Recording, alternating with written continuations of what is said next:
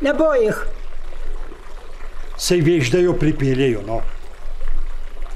V tej vročini ne bo jih.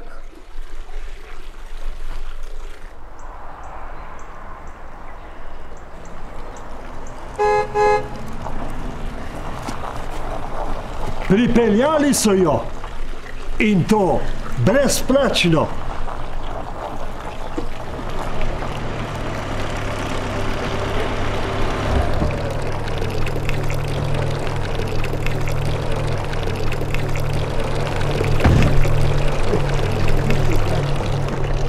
Pozdravljen! Dobar dan! Budej sam, Bog ti je poslal!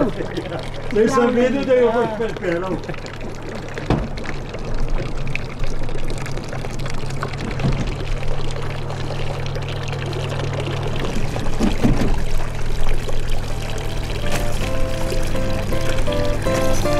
Festival Façã.